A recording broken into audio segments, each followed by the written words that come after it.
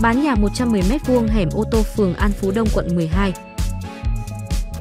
Diện tích 110m2, ngang 4m2 dài 24m, 200m ra quốc lộ 1. Nhà một trệt, một lầu, phòng khách, bếp, 3 phòng ngủ, 3 toilet. Giá full là 3 tỷ 600 triệu là sở hữu căn nhà này. Kết bạn Zalo ngay để xem sổ, quý khách cần tìm nhà đất khác cứ nhắn qua Zalo.